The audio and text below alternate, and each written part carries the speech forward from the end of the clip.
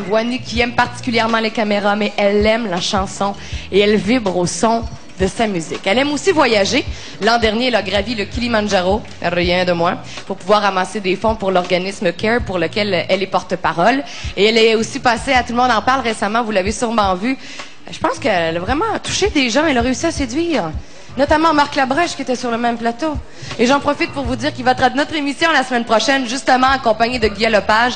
Ils vont nous chanter du Joe Dassin. C'est la semaine prochaine. Et je vous le dis, ça promet. Ah ouais, absolument. Voici l'album de Stéphanie sur un fil, un album qui a été salué par la critique. Tout le monde a parlé de l'originalité dans sa démarche artistique.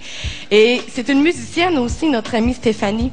Et elle sait s'entourer de bons musiciens. C'est Tony Albino, notre batteur, qui a fait la batterie sur l'album.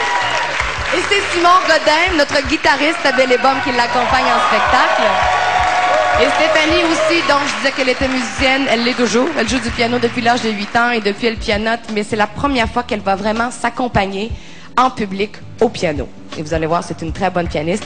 Dans une reprise toute nouvelle de La Mer, la chanson que vous avez entendue à la radio et qui tourne encore beaucoup. Voici donc Stéphanie Lapointe et La Mer.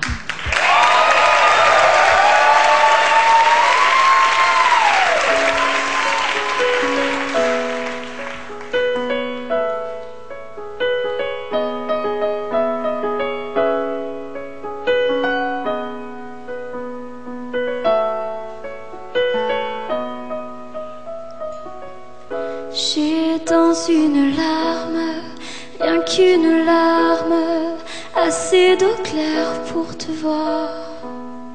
Je vois dans la glace, rien que la glace, l'océan qui nous sépare.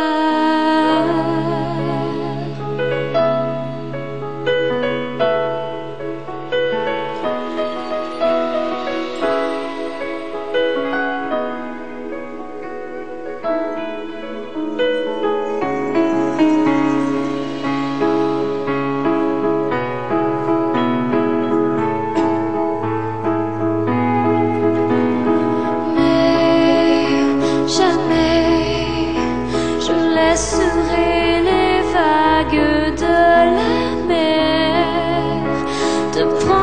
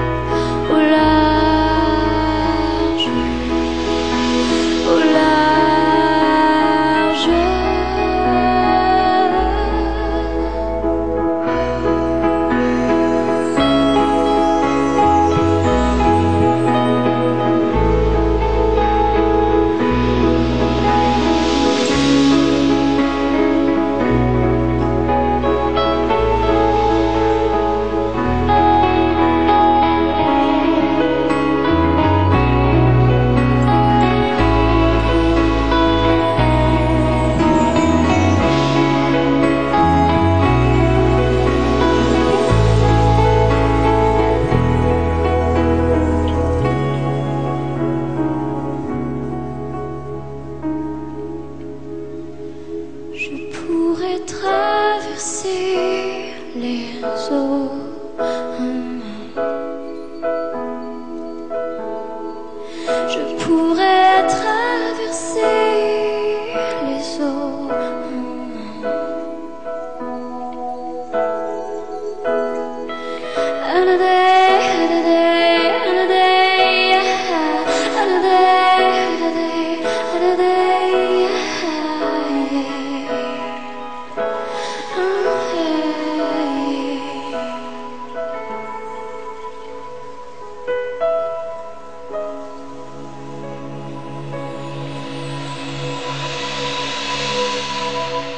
Woo!